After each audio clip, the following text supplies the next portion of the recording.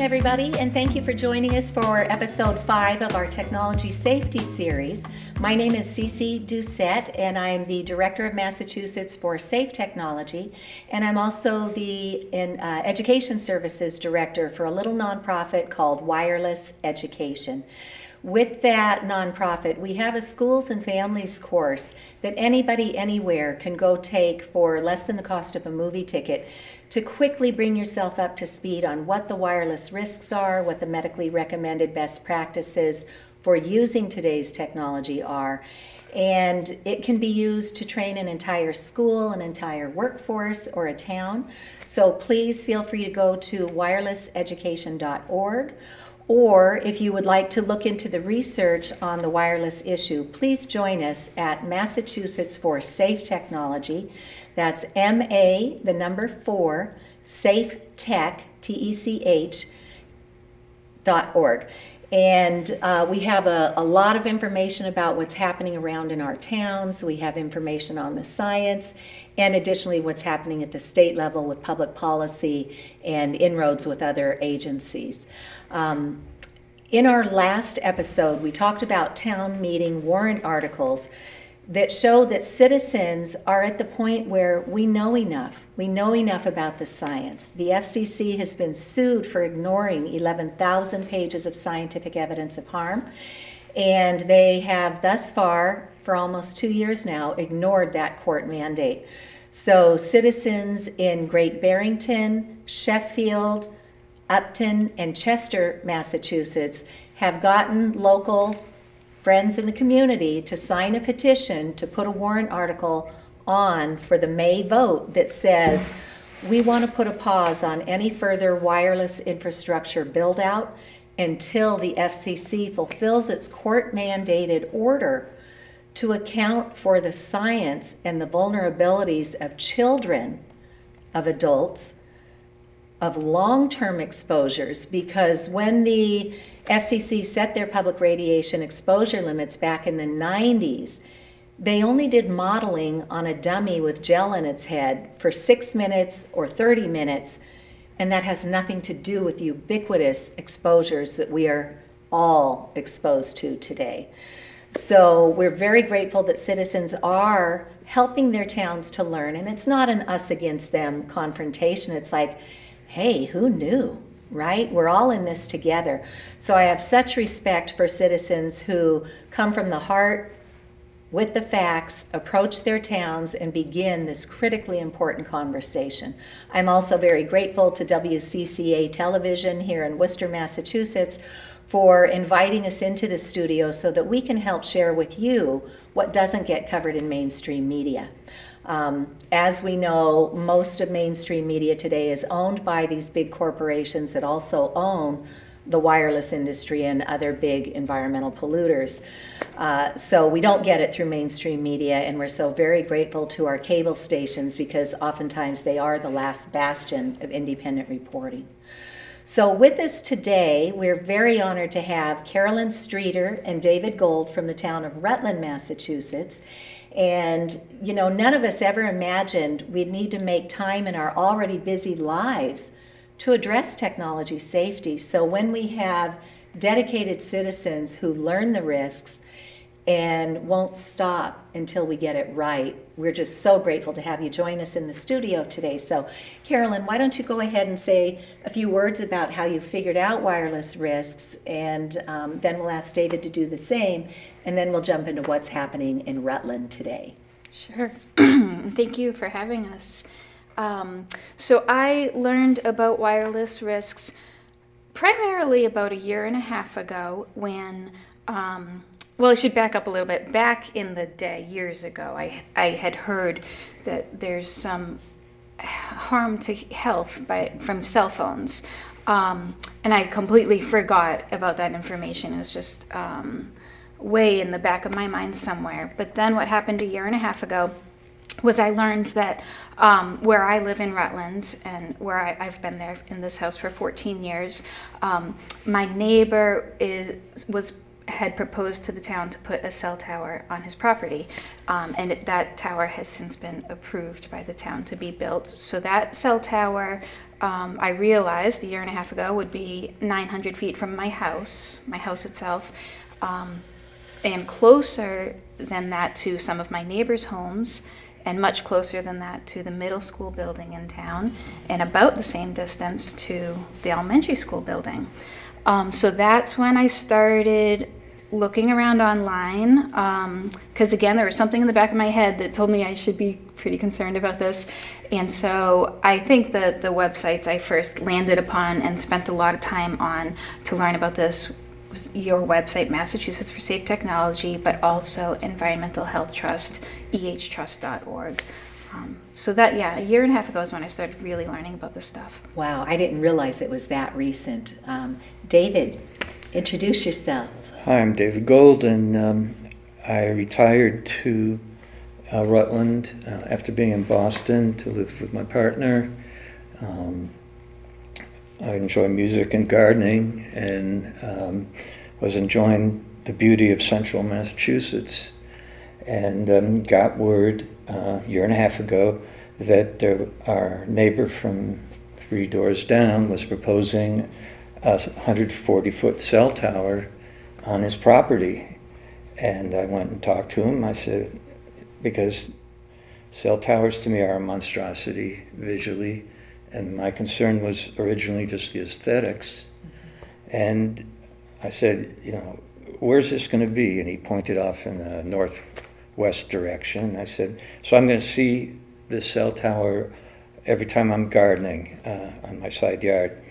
And he's like, no, no, you won't see it. Well, you, you'll see it in the winter and the fall.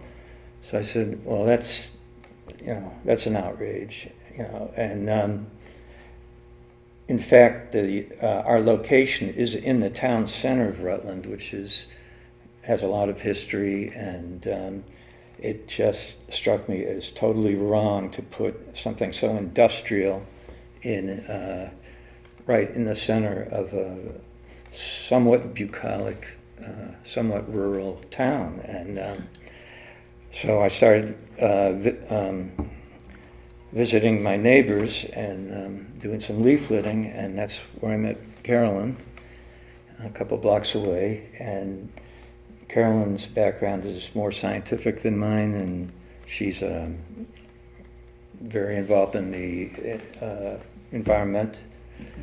And she clued me in on a lot of other things about um, cell towers besides the aesthetics of it. And then just going online and reading uh, the reports that are coming from the um, mm, off the radar, not really off the radar, but just unpublicized scientific um, concerns. I was like, this is really serious. And it was the fact that the closest, it was in such close proximity to an elementary school and a middle school in Rutland, made me realize that this affects the whole town, Right. not just this small community, this enclave where we are, but that children are going to be spending the better part of their day um, with this thing pulsating uh, Right. constantly. And we have just had a forum here. Uh, it started with Courtney Gilardi out in Pittsfield, Massachusetts, where Verizon put a cell tower right on top of this neighborhood. And children, adults, pets got so sick that they had to abandon their homes. And they'd been fighting in Pittsfield for three years now. And for the first time in the United States, their city council ordered their Board of Health to do the investigation. And so their Board of Health did. And they were very fortunate to have this um, nurse, Bobby Orsi, who had been in the town. And she had fought General Electric and their environmental pollutants, PCBs, 10 years ago. So she understands the corporate playbook and how hardball these guys play. So uh, Bobby Orsi and her team on the Board of Health investigated. They spoke to the doctors who gave diagnoses of microwave sicknesses or electromagnetic illnesses. They spoke to the scientists who have published the literature that radio frequency is very harmful. And they also spoke to engineers, they spoke to the industry people. And the industry brings in a gentleman by the name of Eric Swanson from Pittsburgh. And he's a Dr. Eric Swanson. But they actually investigated him, and when they looked into his background, they found that he has never published one paper on electromagnetic radiation. Hmm. His specialty is quarks and other areas of physics. So they bring in this guy with a PhD after his name, and everyone thinks, oh, he must know what he's talking about. Mm-hmm. But he's just paid by the industry to say what they want him to say. So when Pittsfield completed their investigation after 15 months, they documented all of the harm. They said these families had no choice but to abandon their homes, and we need to get them back home. And so what they did is they issued an emergency order to Verizon that said, You have seven days, please come to the table and let's just figure this out. Another uh, gentleman in Pittsfield who owns commercial properties has said, I'll be happy to have you put the cell tower on my property. It won't impact any neighborhoods. Yeah. So there are options ready to pursue. Yeah. And instead of coming to the table, Verizon went to the court at the 11th hour and put an injunction against that emergency order saying that, oh, you know, you don't, you don't have any say in this. The FCC says we get to put it where we want to put it. And so the Board of Health is very smart. They had already consulted with attorneys at the state level and came to understand that what the FCC says is when you are putting an application in for a cell tower, um, you need to make sure that you can at least get a phone call connection within reason. That's what the FCC says. It doesn't say that you have to build out all this new capacity for the industry to spin up their next revenue stream, mm-hmm. right? Like smart cities, superhighways, and fast downloads and stuff.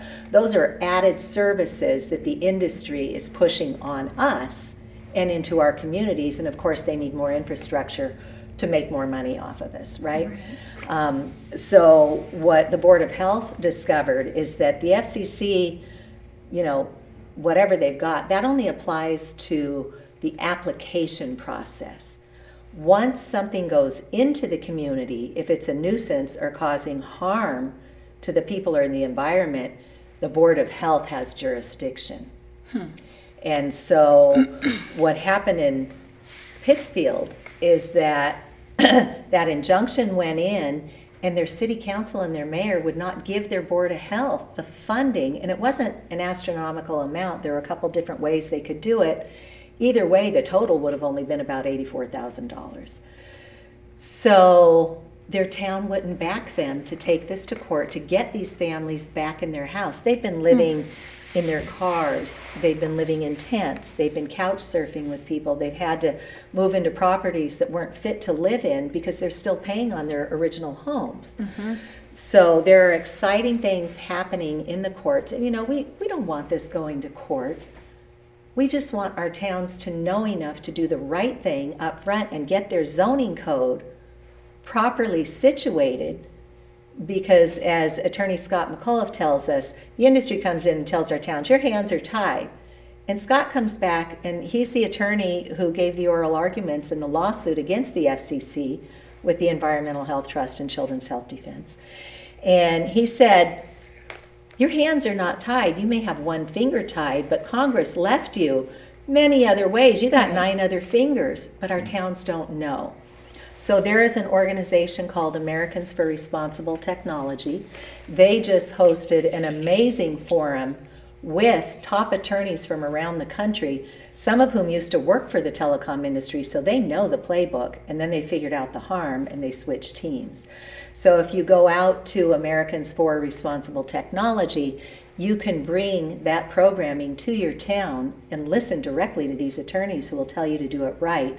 And then Americans for Responsible Technology has a toolkit where they've culled all the best practices and they have a checklist for our towns and they have a sample zoning code that you could at least sit down with your town attorney and your town administrators and say, okay, what do we have on the books today? what are the gaps, and here's a checklist.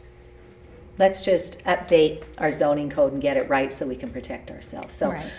tell us about the conversations that you've been having with your town in Rutland and how that has gone. Um, well, I would like to mention that that emergency order that the Pittsfield Board of Health issued to Verizon, that's a wealth of information, and um, it's nice because it's so concise. So that's a good place for people to go to who are interested in this issue to learn. Yeah, and that's at Massachusetts for Safe Technology. If you go to the state efforts page and scroll down, you will find it under the Department of Public Health or Health and Human Services. So Okay, all right. And that was something I emailed um, to, you know, Dave and I over the course of nine or 10 months. Um, the zoning board in Rutland was holding public hearings, and so we did a lot of a lot of things over the course of that nine or ten months um, to try to educate the zoning board about this whole issue and to try to educate our neighbors and residents in town about what was happening here. Um, but I did email that. That was that emergency order was one of the things I emailed to. I believe I sent it to the board of health, to the select persons, and the zoning board. excellent. Um, And then um, as a follow on to that, the Massachusetts Association of Health Boards understands that wireless is not safe. And they have a legal guideline for all the boards of health in Massachusetts. And they added a while back four pages on cell towers. I believe they're in the process of updating that to bring it current with what current policy and the lawsuit with the FCC is. Um, so that's an excellent resource. And they sent in an amicus brief to the court, which is just a friend of the court document that says, we support the citizens of Pittsfield because we know the harm that's being done. So we're breaking ground in Pittsfield in a lot of ways. First, with them not backing down, mm-hmm. fighting this for three years now, getting their Board of Health to do an investigation, and now it's in the courts and they are suing the town of Pittsfield because the town of Pittsfield would not do what their Board of Health was commanded to do. Yeah, So, right, so I feel for you guys because you're in the same position. right. Um, we understand that once a cell tower goes up, it's really hard to take down, but it has happened. oh, really? It has. In Ripon, California, they put up a cell tower by Sprint Yeah, at an elementary school. Four children developed cancer, yeah, really unusual cancers. So to mm. have these unusual gliomas and you know brain cancers and spinal cancers, and then teachers were getting breast cancers from Yeah. working at that school. And then when they started really figuring it out and they went and talked to the neighborhood, more than a hundred people in that neighborhood had gotten cancer in the time that that cell tower was radiating. So because there was enough community pressure and the media got involved, ultimately Sprint wound up moving that cell tower away. So it can happen. And um, Mason's mom, Mason is one of the children that got sick in Ripon, California. Mason's mom, I think her name is Monica, she joined that legal forum that's now out at Americans for Responsible Technology, and you can hear their story, and it's just heartbreaking. And she said once that tower was removed, no new cases of cancer yeah. have been brought to their attention. That was a remarkable story. She spoke at the expert forum for on cell towers. Yes. I think the title was "Let's Connect on Cell Towers," and that was Yes. held just two or three weeks ago. Yeah. And that was an excellent forum. Is that link? That's probably linked Yeah, that's at Americans for Responsible Technology. Um, I have a YouTube page myself under Cece or Cecilia Doucette, and I just shared those on my page as well. So Yeah. they're widely available, but people simply don't know because mainstream media won't cover this in many regions. right. Right. So you brought this to your town's attention, Right. and then what happened? So, the first public hearing was in November of 2021, and um, and that's that was a zoning board of appeals public hearing. Um, so prior to the hearing, Dave and I ran around the center of town and put up lawn signs. Hearing, Great idea. Um, cell tower proposed next to the schools, next to the neighborhoods, and so people showed up to that first public hearing. Residents showed up. Um, the room was almost too small to fit everybody, and about 20 residents spoke or so. Um, nobody spoke in favor of the cell tower. I like to say over and over again that nobody spoke in favor of the cell tower over these nine to 10 months worth of hearings, or about, I think, also nine to 10 hearings within that time frame. Um, a relative towards the very end of, of um, that, those hearings, a relative of the property owner where the cell tower is to be erected, he spoke. And that was the only person in this entire time that spoke in favor of this cell tower going up. Um, so, and we got 446 uh, signatures on a petition Wow. from residents saying we don't want this tower in this location. Um, so we got about 20 something people to that first hearing, and it was interesting because several people said to me, I had no idea this was happening, and the lawn signs were what got pe- a lot of people there. Um, so we did, we just did so much over that nine to 10 months. We went to every single hearing and we did a lot of outreach. Um, you know, lawn, there were many more rounds of lawn signs that went up, trying to keep people coming to the hearings, which is a hard thing to do over that a stretch of time like that.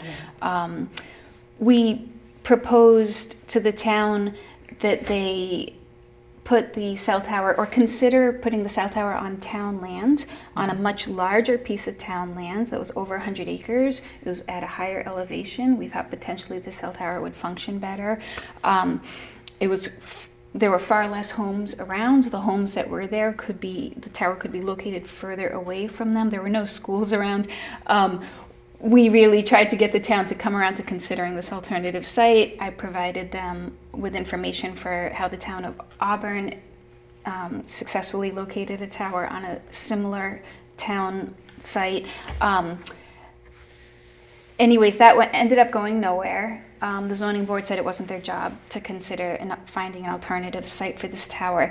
We tried to educate the board too on the fact that um, the burden is on the applicant, meaning the developer of the tower, um, and or the carrier, in this case AT&T, to prove to us that this is the least intrusive site they could find for this tower, and to prove to the town that they suffered a significant gap in coverage. Um, we didn't feel that either of those things were ever ever successfully proved to us. Yeah. Um, proven. Yeah, So- because a lot of times the industry folks will come in and say, oh, we have a gap in coverage, and the town will go, okay, we'll help you fix that.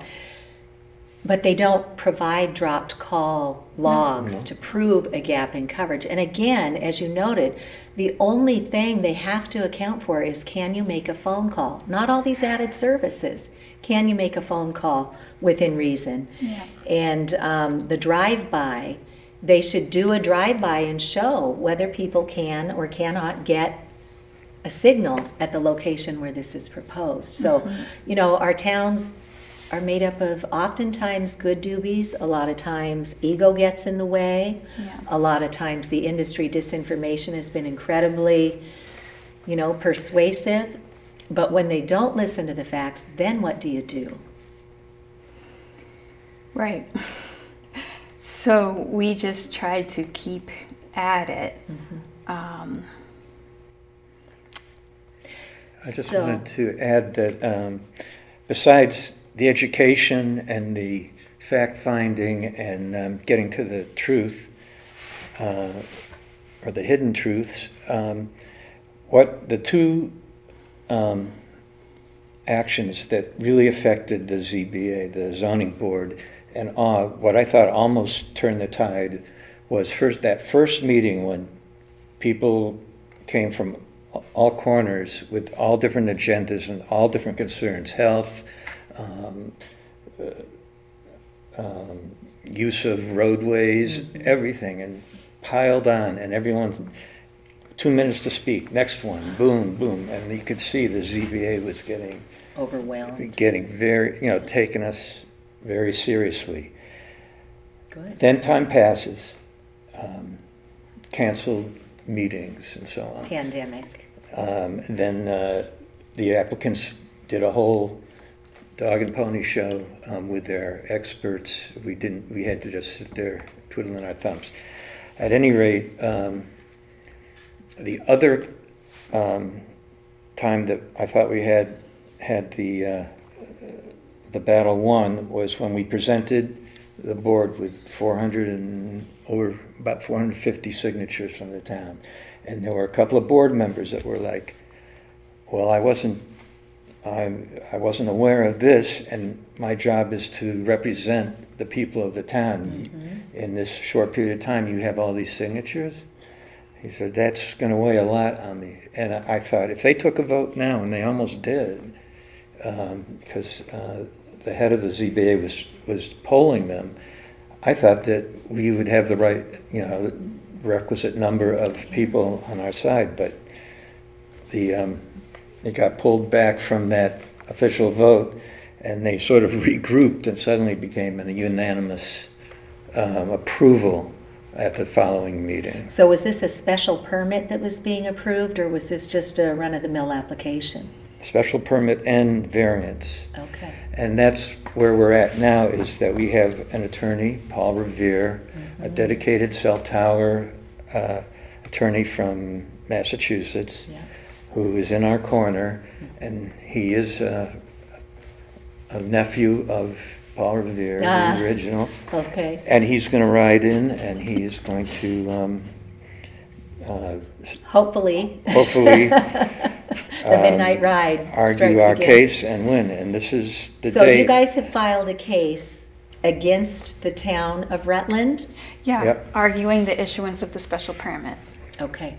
That you think it was not legally issued? Exactly. Correct. All right. Yeah. So, So um, it looks like you guys have a court date coming up. Yeah, it's um, Thursday, May 18th, about a month from now. And Attorney Revere has suggested that as many people, and they don't have to be from Rutland, who can show up and bear witness at that meeting. And uh, we might have a uh, little demonstration out in front of the courthouse before the meeting. There's nothing wrong with voicing our opinions then. Right. But just to fill the courtroom can have an effect on the outcome of this um, action that we're taking. So we're urging, I'm trying to level this, we're urging all of you out there, um, if you hear uh, and believe in this, in this concern, and again, the fact that schools are affected, school children are affected, I think is so Right, important. so, you know, we need to take action on these opportunities, because if we don't, if we're too busy, if life gets too crazy and we just let it go by, once those cell towers go up, it is brutal to try and get them taken down. So please, and how fortunate that we're here in Worcester's cable station, and maybe a lot of you in the community, even if you don't know a ton about this issue, come and be part of this hearing if you can come out at 2 o'clock on May 18th, right here to the Worcester Superior Courthouse. So thank you, everybody, for joining us, and you can reach out through Massachusetts for Safe Technology, and we'd be happy to connect you with Carolyn and David. So have a tech safe day, everybody. Thank you. Thanks.